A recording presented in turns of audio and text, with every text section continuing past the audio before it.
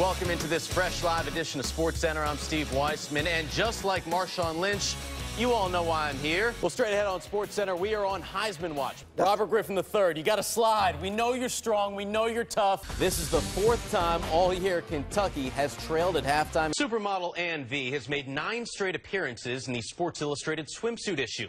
But bragging rights still go to her boyfriend, Matt Harvey. For one, he dates her. Plus, it took the Mets rookie less than nine starts to make the cover of that magazine. Something she's never done. The series was short, but the games, they were long. And for the second time in three years, the team from Hollywood wrote a storybook ending. I've shot in the 80s once. Once. That was a great thing.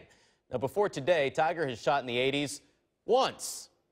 That was a bad thing. Chicago has faith in Cutler. He'll need some luck, though. The Colts quarterback, he was born with it. They both changed the way we think about a subject, taught themselves advanced skills, and left school at an early age to achieve greater success than any of their peers.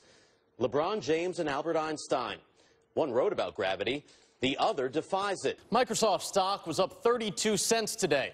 Nothing crazy for a normal investor, but it added nearly $107 million to Steve Ballmer's net worth.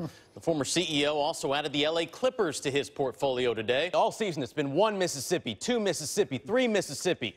Just like kids in the backyard waiting to blitz, finally, Ole Miss got sacked. Let's go Alabama, Tennessee. Lane Kiffin returning to the Neyland sidelines for the first time since leaving Rocky Top, January 2010, just one season as head coach there. Kiffin's mom said she was scared to death for his safety. Uh, the Vols should have been frightened by Kiffin's offense and this guy, Amari Cooper, first offensive play, gone, 80 yards. Bam up 7 nothing. Kiffin actually ran down the sidelines. and told Cooper he almost beat him to the end zone. Sims finds Cooper hanging with Mr. Cooper. A buck 85 in the first quarter, most in a single quarter in the last 10 years of SEC play. Fourth quarter, they're up 34-20. Yeah, where are you going to go? How about a little more Amari Cooper?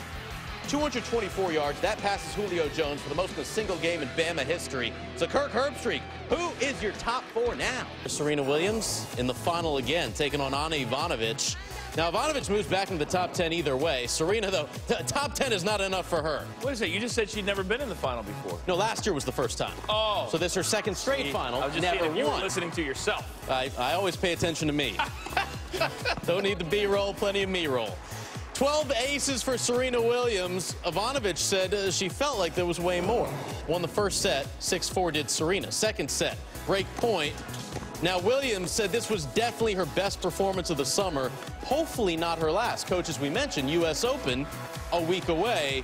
Serena Williams will come in as the number one seed. 62 minutes of work from Times Square. I'm Steve Weissman in for KO. Talk about the ultimate in American hubris. We left, then crushed you in battle, and we're not going to return to overtake your sports landscape. Cool? Uh, riddle me this. We don't have an NFL team in L.A., and we want to give one to London? Come on, man. You think it's a fair deal to trade Downton Abbey and Benedict Cumberbatch for the crown jewel of American sports? Come on, man. We fought a war against the Redcoats just to turn around and give them NFL Red Zone. Come on, man. Put simply, the NFL in London is bloody rubbish, just not my cup of tea. The only thing worse, my attempt at an English accent. Hello, governor. Now bugger off.